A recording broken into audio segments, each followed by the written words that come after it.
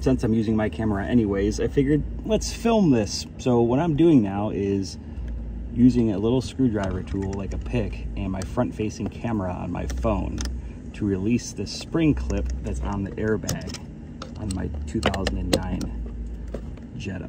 It's basically the same on all Volkswagen vehicles from this era. And it's really finicky. Also the screwdriver isn't particularly strong. It's flexing a lot and you miss. Whoopee.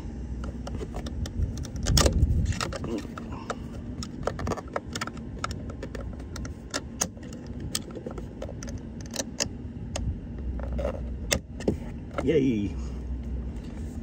And then we use the key. Turn the wheel. Bing. Oh no, I think it just snapped back in.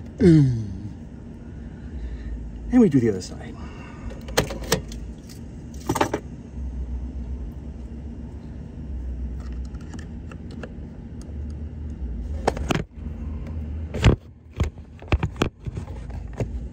I'm getting better at it though.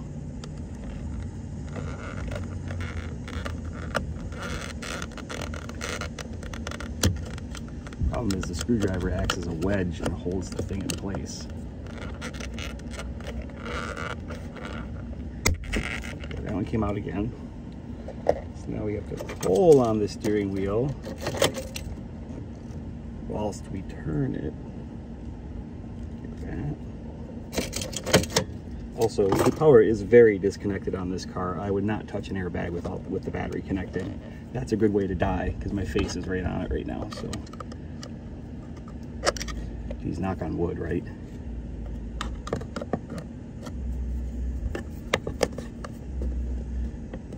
So yeah, this is a little bit of a terrifying thing to work on, but practice your safety steps. You have nothing to worry about. Airbags out.